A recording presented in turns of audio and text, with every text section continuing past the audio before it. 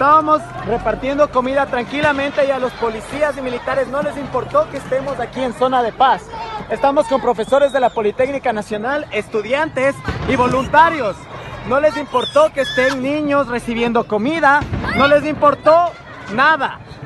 Estamos siendo víctimas de un abuso total, una violación contra los derechos humanos. Con personal sanitario.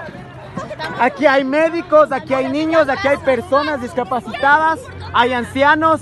No les está importando nada a estas personas. No se dan cuenta el sufrir de la gente. Están disparando a hospitales públicos, están disparando a maternidades. Ahí se puede ver claramente el humo.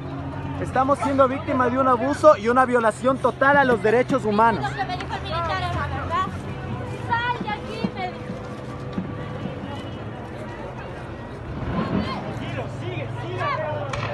Había otro auto que ventajosamente pudo salir con nosotros. Ahorita estamos sintiendo los efectos del gas.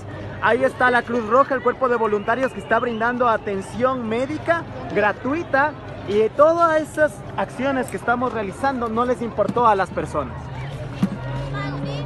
¿Sí están bien? Como pueden ver hay gente de todo tipo. Hay mujeres, hay niños, hay gente que está corriendo.